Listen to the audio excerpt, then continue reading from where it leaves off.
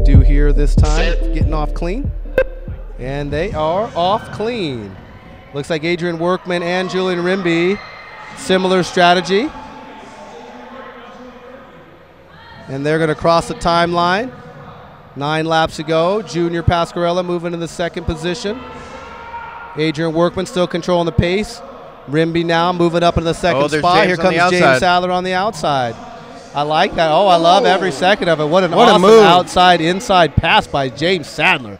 Putting on a show. He's going to cross the timeline. Seven laps to go. It's going to be Sadler, Workman, Junior Pasquarella, your top three. James is picking up the pace now with six laps to go. Position still the same. 8 9 1 the lap time on that last one. They're going to cross the timeline. He's picking up the pace. Five laps to go.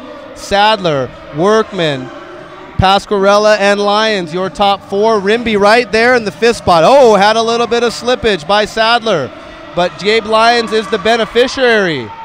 And Gabe Lyons is going to move up now. Three laps to go. Gabe Lyons looks like he's throwing down the hammer. He's Oh, feeling he's really good. Oh my goodness, Gabe Lyons. He is throwing down the hammer. He's got two laps to go. Can he hold him off? Oh, We've seen this coming. before. Adrian Workman can reel him in with the best of them. Is he going to be able to get Gabe? Final lap. Let's see if Gabe can prove it. Oh, he's throwing that. He's throwing that. I think that. Adrian's going to throw it. Oh, he Oh. is not. And that's how they're going to finish. Wow. Gabe Lyons, Adrian Workman, and Mikey Pasquarella, your top three. Oh, man, And I'm telling you about this generational shift. It's there. And you know what I think you saw there is a little bit of respect from Adrian. oh yeah. He's, he's already got the 16, so he's already in the Yep. Grand Champions race.